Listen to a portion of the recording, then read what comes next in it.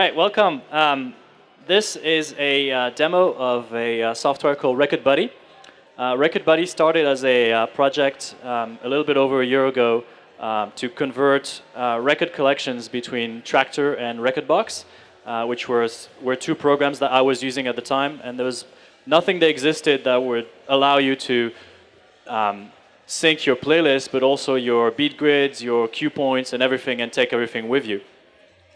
And so it um, ended up as a program that's now available on the App Store, which is version one of Rekord Buddy.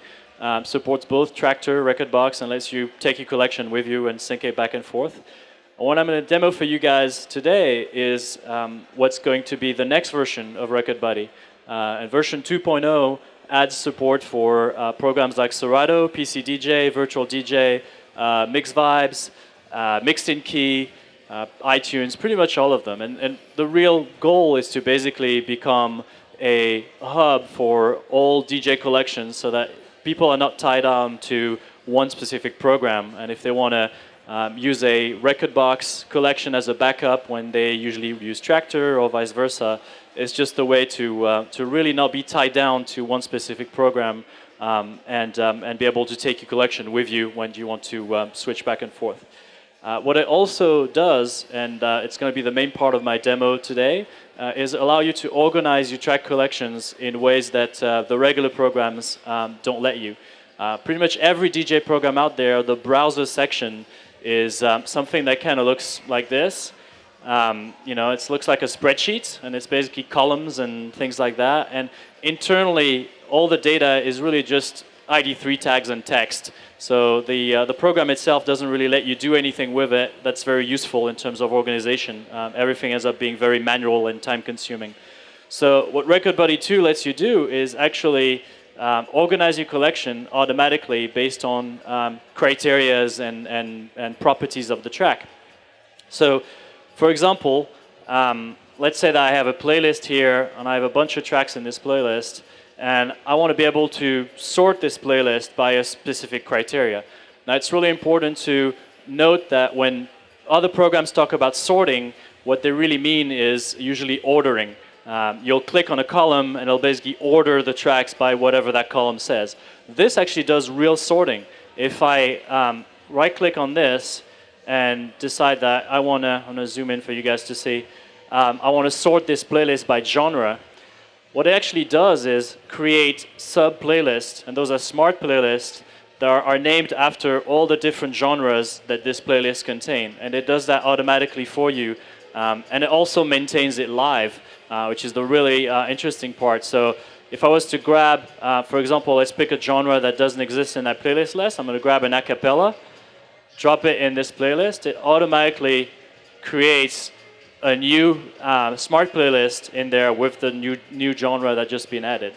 And it doesn't have to stop there. What you can do is um, decide that then you want to sort even further, uh, let's say by key. And now in here, if I zoom out a little bit, now I have all the keys that are uh, found in this playlist underneath um, the, um, the genres. Uh, you can organize it whichever way you want, whichever way makes sense to you.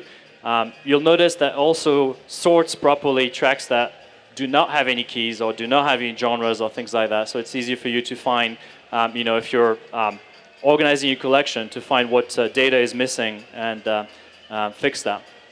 So really powerful way to really, um, instead going away from um, organizing all your data in playlists manually. A lot of people do that. They'll have folders on their hard drives or they'll have playlists in Traktor or Serato that, that sorts manually all the, uh, all the tracks. This does it for you. So all you have to do is really just um, manage one playlist of all tracks that you want, and then before your gig or you know before you need to use it, just basically organize the sorting and let the program sort it automatically for you. Uh, so properties are pretty useful, but when it gets really, really powerful is when you start using um, tagging. Uh, pretty much all the programs now out there uh, let you do some sort of tagging, uh, but they don't really do anything with it. So once you spend a lot of time tagging your tracks, there's not much you can do with the tags themselves. What's cool about this is it finally lets you use the tags to, um, to sort your music. So for example, if I was, um, I'm going back to this playlist, uh, if I was to create a tag and I want to mark the tracks in my, um, in my collection that I think are cool tracks. So I'm going to create a tag called cool. And I'll mark these tracks. I'll say this track is cool. This track is, if I can type, cool. Um, I'll zoom in so you can see it's basically just a tag uh, field. And um, once you enter something, it becomes a tag object um, called cool. So what that does is, when I go back to my playlist, I've now, in effect, um, created a new sorting criteria called cool uh, because the tag now exists. And if I sort this playlist by cool, what that does is create two smart playlists, one for the tracks that um, I've marked as cool, and one for the tracks that are not cool. And that lets you basically organize your library any way you want. Um, it's a tag that I've created. You can name it whatever you want, and you can go to town tagging your tracks with things that make sense to you, and then use that to automatically sort um, all the information. Uh, Tags can be a little bit more powerful than this. I mean, cool is obviously, it's a binary tag. It's either on or off. But you can create tags that have uh, values, uh, more than one value. So one that I use a lot in my personal collection, it's a tag um, that you can see right here. Uh, if I zoom in in here, there you go.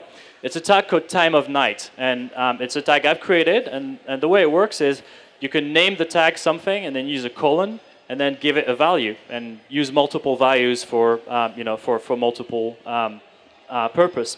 So in my case, time of night has values like early, ramp up, peak, and it, it gives me an indication of when is a good time to play that track.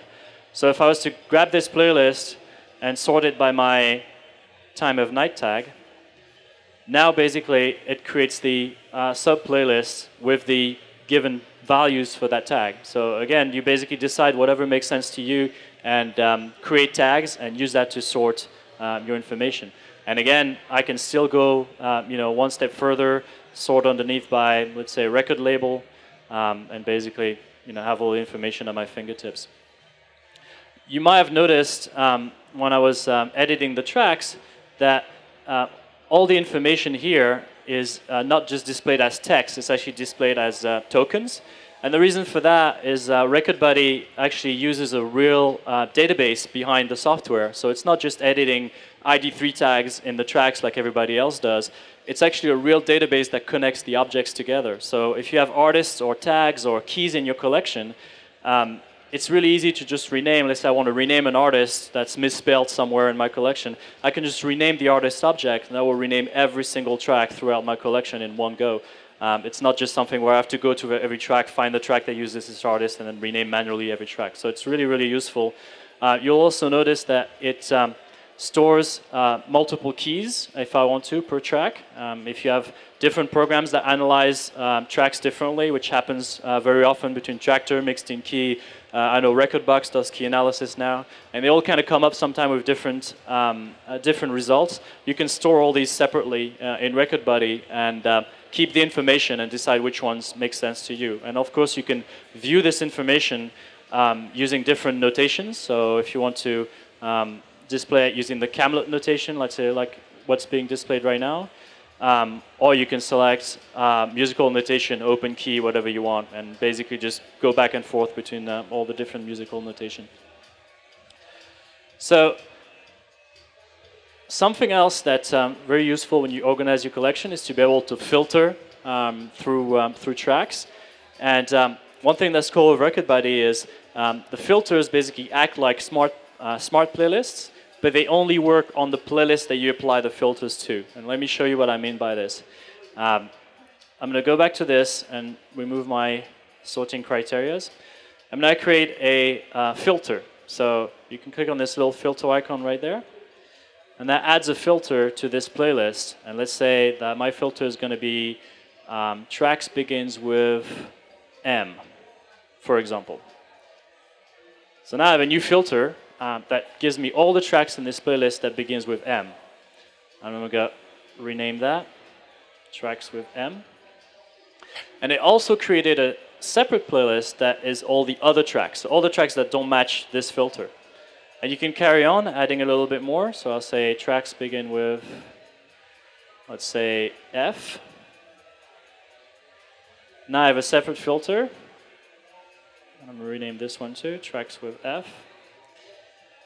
and again, the last basically is everything that doesn't match this filter. So for uh, track names, it might not be very useful, but where it becomes useful is when you use filters for dates, for example. You can say, um, you know, give me every track that I haven't played for the last three weeks, or every track that uh, I've been released in the last month. And you can create multiple filters like this and go, you know, last month, two weeks, a year, and then save this filter, what I call a filter set, um, save it off so you can reapply it to other playlists. And if you want to you know, use that later on, basically just reapply this filter set to, uh, to a separate playlist and sort out your, um, um, your tracks like this. So it's all really cool to be able to um, sort your data. But of course, once you, to, able to do that, you're going to be able to, you're going to want to sort your playlist using different um, criteria and basically have different views on the same playlist.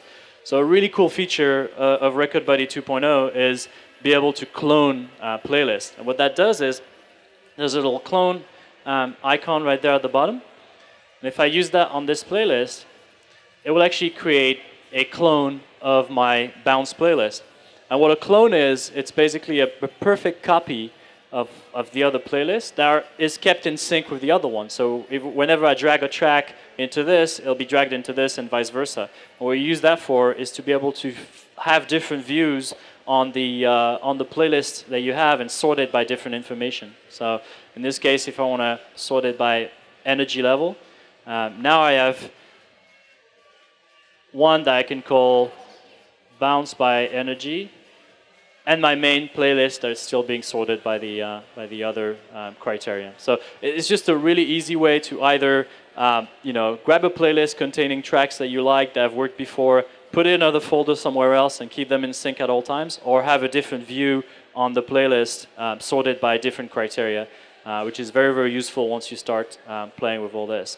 So, and of course, icing on the cake, once you've done all this, um, you can hit the little sync button in the corner right there, and all that data gets written back to whatever DJ programs you have installed on your computer, be it Serato, Rekordbox, Traktor, um, any of them, and, um, and those will appear like regular playlist on those programs, so you can still use your music and, and you know and, and go to your gig and, and use the uh, the sorting information that you had. So.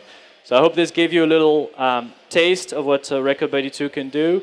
Um, we are doing a beta release in a couple of weeks. Uh, we're actually going to do it in uh, partnership with uh, DJWORX. They're going to have some uh, beta seats on offer on their website. And um, if you want to get more information on this, um, I am down the way, booth A49, I think, right by DJ Mag. Um, and you can come by and um, come by, say hi, and uh, ask any questions you have on uh, Rekord Buddy or any of the features. So thank you very much.